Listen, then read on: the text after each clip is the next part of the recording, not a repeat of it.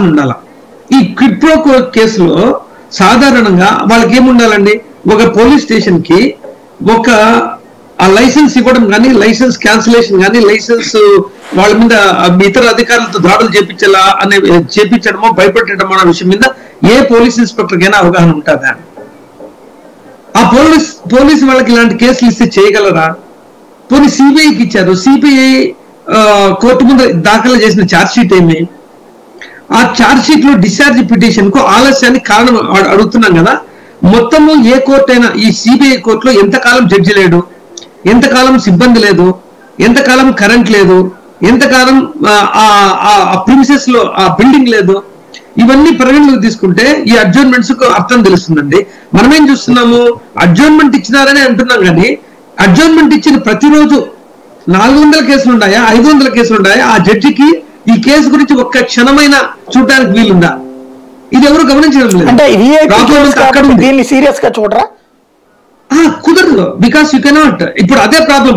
పదివేల రూపాయల ప్రాంసర్ నోట్ అయినా పది లక్షల రూపాయల ప్రాంసర్ నోట్ అయినా ఒక కోటి ప్రాంసర్ నోట్ అయినా ఒక ఓఎస్ నెంబర్ ఇస్తారు. అదే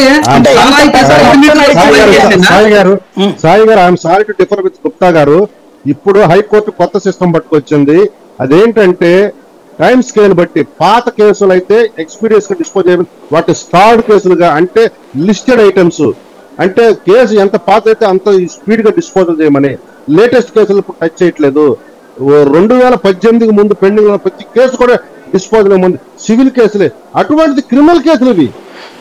రైట్ జడ్జి గారికి ఖాళీ లేదు జడ్జి గారికి జడ్జి గారికి ఛాంబర్లో కరెంట్ లేదు ఏసీ లేదు ఇవన్నీ ఇమ్మెటీరియల్ నేను అనడం లేదండి. జడ్జి గారి ఫెసిలిటీస్ గురించి అనడంలే జడ్జి గారే లేదు అక్కడ.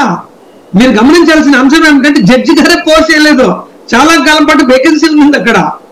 మనం గమనించాల్సిన అంశం ఏమిటంటే కోర్టు వర్కింగ్ డేస్ ఎన్ని దాని మీద నిజంగా గడిపింది?